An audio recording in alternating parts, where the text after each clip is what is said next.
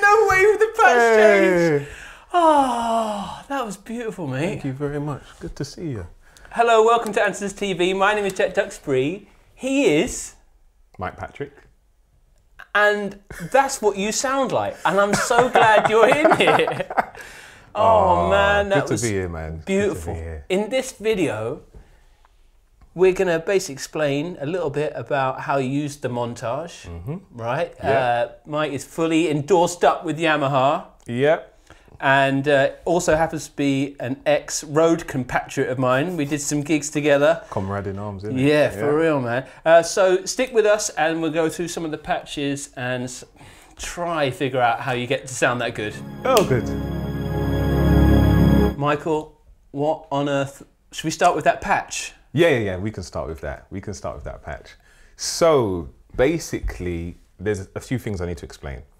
Uh, this patch, this patch is, this is what I would call a performance patch. So I've got what I basically, I'm trying to figure out how to, to explain it. Yeah. I basically have four different sounds. But the way the montage works is that we have a thing called scenes. So I can basically take snapshots of all the sounds. So I've got a piano, two strings, and a flute. So this is scene one. On scene one, I only I've muted everything apart from the piano and one string. So when I play, I've got expression pedal to bring the strings in. So scene one is piano and strings. Scene two is just strings. Scene three is strings with a flute. So what I can actually do is jump between different scenes. There's eight. So when I'm, so it depends on the situation. So if I'm just playing normally, I'll just play. If I want to lift it, I'll go to the piano and strings, or just the strings. If I want to get really intimate and emotional, I'll do the flute. So.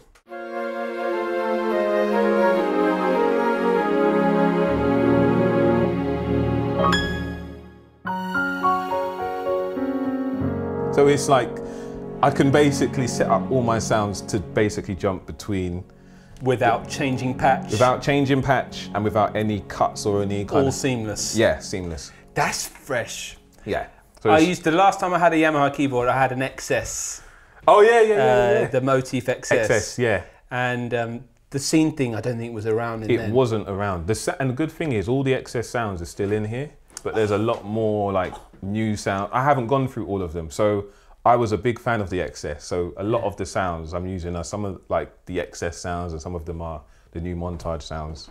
But the scene jumping scenes is So that's one. So that's one patch where you've got those four scenes, and you said you do you have like four of those that you do most of or, or was that was that you explaining the scene bit? So this is just the scene bit. So I've got four sounds, but between the scenes I basically mute yeah. sounds. So scene one will literally just be two of the four. Scene Yeah. three is three of the four. And this the magic. What you're hearing is the way that you control the expression pedal. Yeah. And just to drop drop in, Mike and I played together on a gig where you were essentially just playing strings all night. Yeah, literally nothing but strings, and I did it on a Yamaha keyboard, and it was yeah all strings. And he, you played all the pianos on the all. Yeah, but it was the first time I'd ever heard that, and it's such a beautiful. uh, Just so in case people are saying, what one have you got on the floor there? So I've just got left foot is normal sustain pedal, so it's, and then right foot is strings. So it's like a FC7 pedal. That's it. The yeah.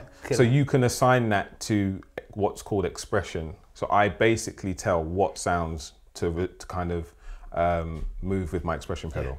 So that's my strings. So when what you're doing, what most people don't do is when you're playing a song like, and then say you get to the chorus and you want to lift it, you bring the like the strings in.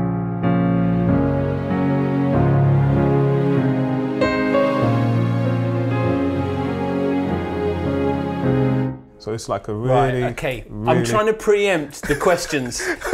so that piano, what piano is that, and do you have a favourite piano in there? Um, so this one is. It's been a while. I need to check. It's been a while. It's been a while.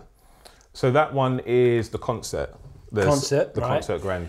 And then you layer in the strings. Do you have a special string Yes. cocktail? So what I might actually do is share a secret about strings. Please share. So I have two. When I play strings, I have two strings. So this is the first one. I'm going to solo it.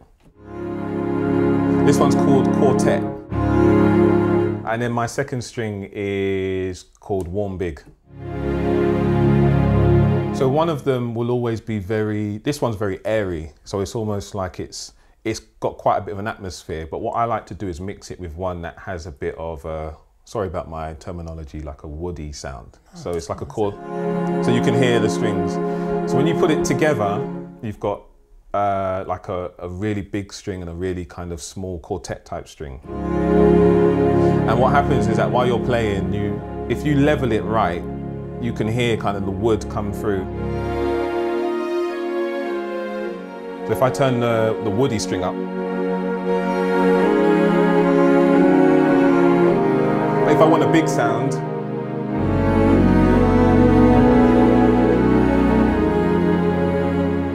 so so yeah. I hope that we get an animation of Dan Bingham's face just going.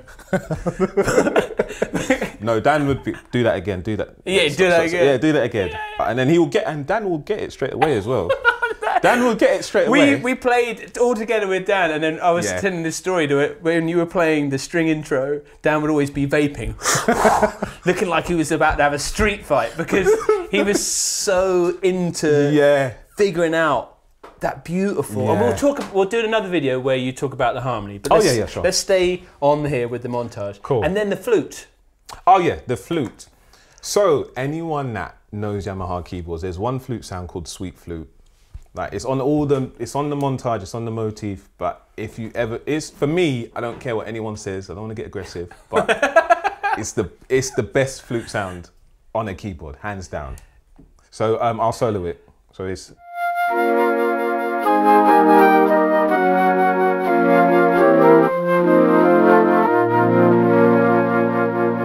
Um, yeah, with the strings.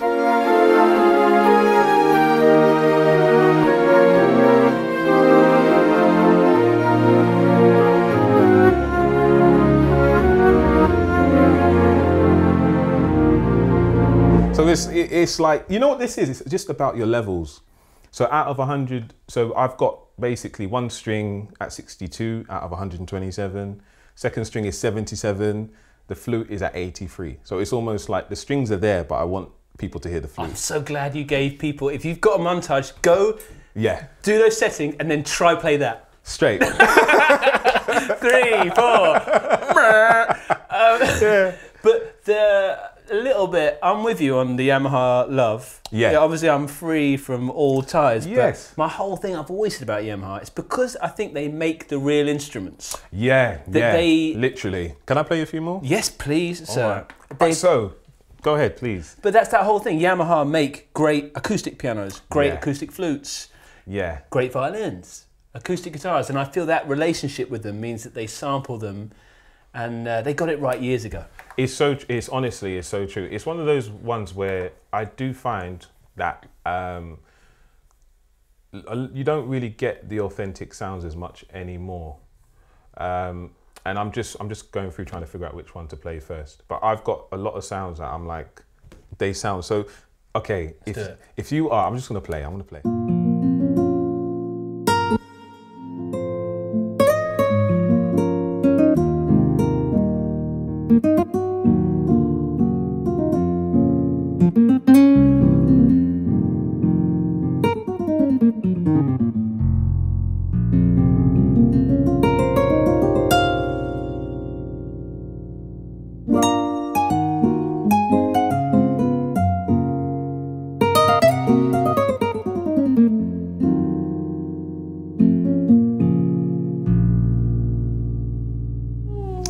To say that just, I think if you want to know how good a keyboard is, listen to the guitar sounds because they're really hot.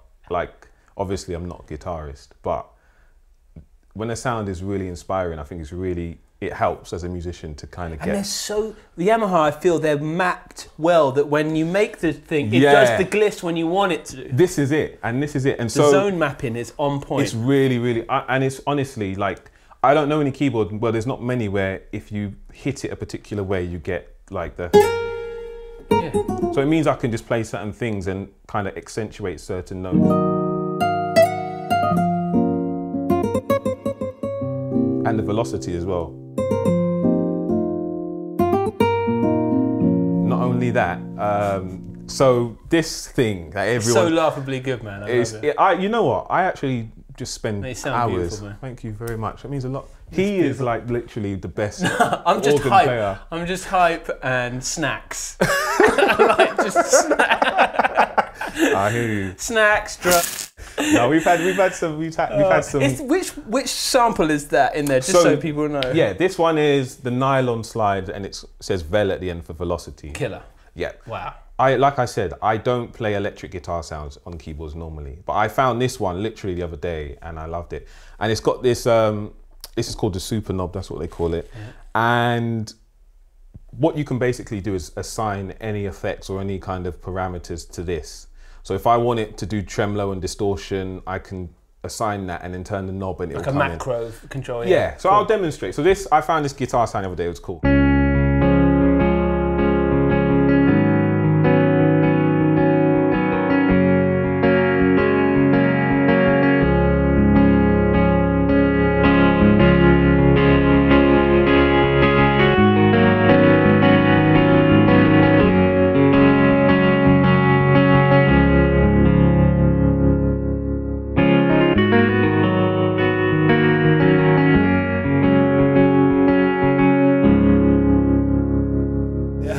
Isn't it? yeah. Oh, you've heard that? Oh yeah. yeah. Yeah, mate. Oh, what a tune. Beautiful. Yeah. I mean, So it's yeah, it's it's really cool because it's it's literally every sound is so inspiring. I mean, the keep horns. going. Just all the Do you want me to keep going? Yeah. All right, I got this.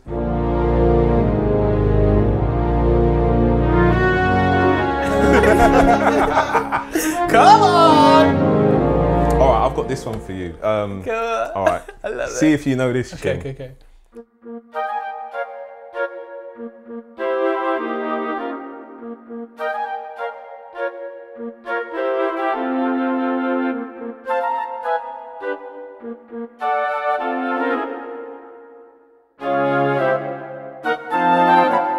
like that. yeah. Right, okay, so have I got to guess it? Everyone knows it out there. But you see, my heart says Casper back in the day, but then I'm. It is uh, Home Alone. is it Home Alone? Yeah, yeah, yeah. Oh, I mean, you have to be I'm like, sorry. You have to be 35. I should know it.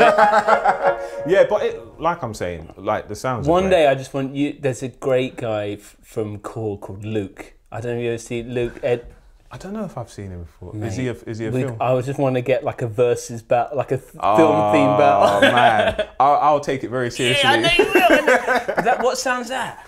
Um, so this one is literally, it's almost like a wood. The good Of thing with course, it's this, Home Alone. yeah, Now woodwind. you sound. I mean, I played it kind of bad. Like, No. yeah. this is what I do at home. Like, I don't do nothing else but just literally play tunes. Yeah, like literally just trying to get it in sync. But um, no, it's it's just the sounds are really inspiring, really inspiring. And there's a lot Yeah. of sounds I don't normally play on the keyboard. And uh, so, how, how many have you got? A seven. Yeah, this is seven, uh, which What do you is personally go out with? The seven. And mainly the seven. If I don't, if I have one, it will always be the seven. it's a uniquely primo feel that action, and Yeah, I was gonna say the action is really, really, really like. Even though it's not weighted keys, a lot of the time keyboard players are like, if it's not weighted, like I'm not playing it because it's uncomfortable. But even the piano, somehow, I don't even know how. It's, nothing feels like that. No, action. it feels really like the action feels really, um, really good. So even the, you can hear like it's.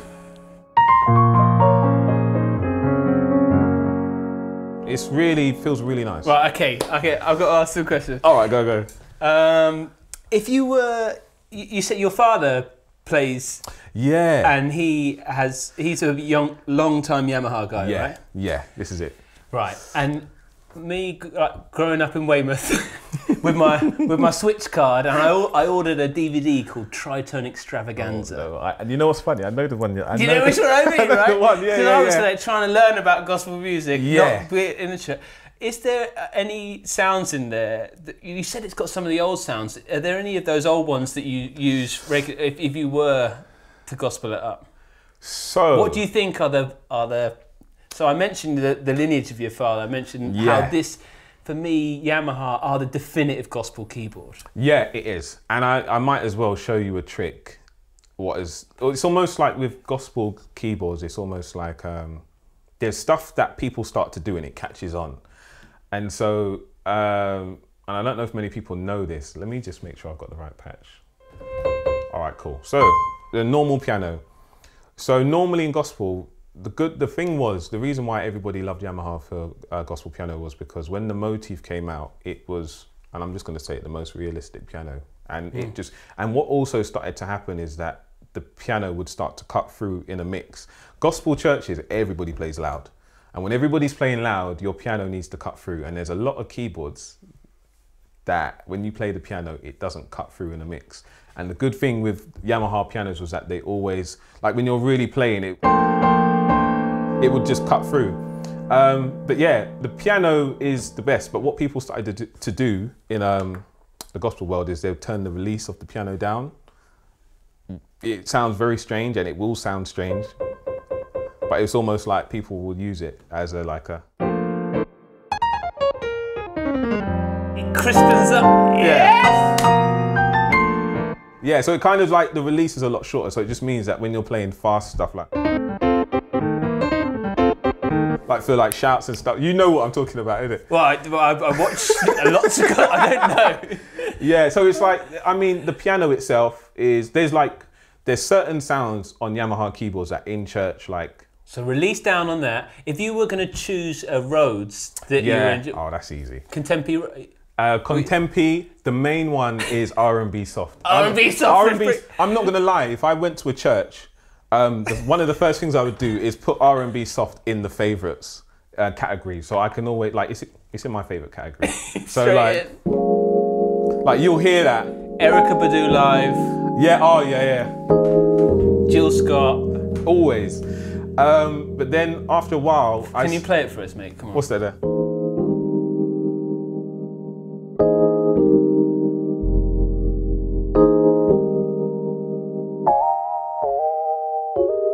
I mean, I got a few tricks to show as well, actually. I think that's going to be another video. Okay, cool. This Cool, is cool, just cool. we're going to get through, but the, Yeah, but what we also started to do is the thing is with there's so many Rhodes that the R and B is great for panning, and then uh, I use one called soft cased. So it's almost like you've got one that hits quite heavy or contempt. Is it contempt? That's the one. Yeah. Yeah. So it's like I remember trying to blag. yeah, like contemporary because contemporary hits quite hard. So Yeah. if you have contemporary and like R and B soft together, you've got the warmth and the bite as well. Um, I'm actually working on something right now where I'm trying to like build my own Rhodes, and I've got like the good thing is it's got a sampler, so you can sample. I've sampled uh, like a vinyl effect. It's quiet. So it's basically that. this is exciting me. already. Yeah. And then you, I mean, I'm still working on it. And then I've got two Rhodes and I've kind of tried to. It's a bit out of tune at the moment because it's meant. And I can turn the vinyl down or off. And this is actually R&B soft and soft case together. So it gives it a bit more of a body. So yeah, like there's so much you can do. There's so much you can do. So are you are you building patches for? Is there, is there going to be a patch library? There might be, yeah, hopefully. The plan is to kind of get a just, you know what it is? Being completely honest, a lot of people play keyboards for different reasons, but a lot of us play it for gigs and for tours, and no one really knows what the great sounds are. So I really wanted to just do a pack where it's just, these are my go to sounds for every situation, whether you're playing first keys or second keys. And these are sounds that have been tweaked and have kind of been looked at, and you can just use them gig ready. So fingers crossed there might be a pack there might be like a little yamaha montage pack I'm so gassed. We had a uh, Dave Tension the other week. Oh, yeah, and I yeah. feel like we're just going to start this whole new market of just oh man genuinely great patches for Oh, keyboards. man. So when that's out, you're coming back. oh definitely would love to would love to I think that's just a. Obviously, it sounds amazing in your hands, but Mm. this is great. And check out our other video. We're going to do one on the YC61, Mm-hmm. and we do some little secret tips, some chords. It's just a real treat to have you here. Would Oh, you do us the honour of playing us out? i would Michael? love to would you like another string or Whatever your heart is telling you, sir, okay because cool. it's it's pure and sounds incredible. thank you very very much well you know what we started with strings. I'm going to end with strings as well. It's my thing. Get either get out of shot. Just let it breathe, man. All right, man. Here we go.